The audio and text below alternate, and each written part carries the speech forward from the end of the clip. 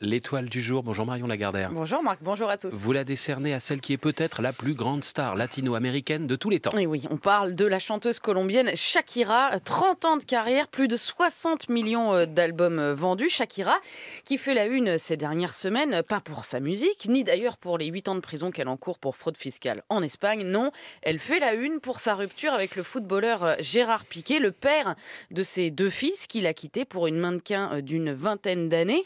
Pour se venger, elle a sorti une chanson en janvier, on vous en avait parlé sur mm. France Info, puisqu'elle avait battu tous les records de vues sur YouTube en 24 heures. Bref, depuis cet épisode, elle n'avait pas pris la parole. Et dimanche, eh bien, elle a enfin accordé un long entretien à la télé euh, mexicaine où elle parle de tout, de sa carrière, ses enfants, Gérard Piquet évidemment, mais surtout euh, d'elle, de ses remises en question, du temps qu'elle a mis à se sortir de la norme et précisément de tout ce qu'on attend d'une femme en Colombie, en Amérique latine et ailleurs. Jusqu'à présent, dit-elle, j'ai toujours été émotionnellement dépendante des hommes, de leur regard, de leur validation, et j'avais totalement adopté la fable qui veut qu'une femme ait besoin d'un homme pour être entière, pour être complète, ce mythe qui sous-entend finalement qu'une femme seule et indépendante a échoué. J'avais ce rêve, ajoute-t-elle, de fonder une famille, d'avoir euh, des enfants et vivre avec leur père sous le même toit, mais voilà, tous les rêves n'ont pas vocation à se réaliser. Alors attention, elle ne dit pas qu'elle ne croit plus euh, en la famille, elle dit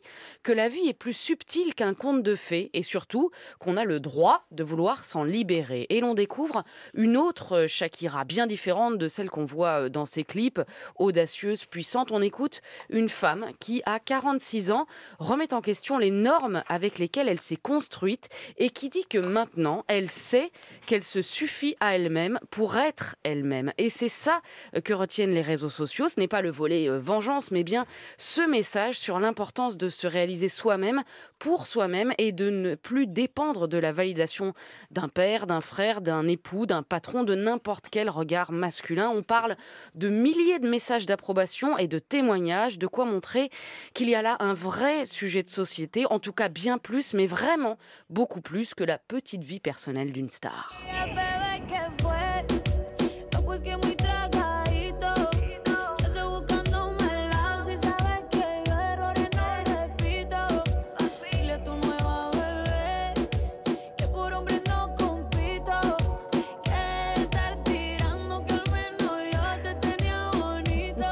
Emmanuel Cuny.